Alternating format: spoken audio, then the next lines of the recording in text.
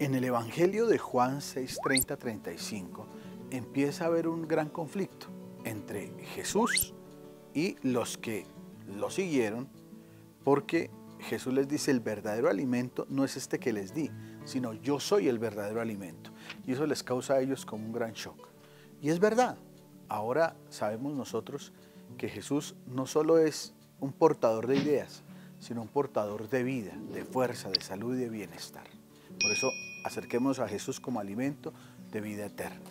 Que ojalá todas estas expresiones de evangelización que hay en mis redes sociales te sirvan para conocer a Jesús, alimento de vida eterna.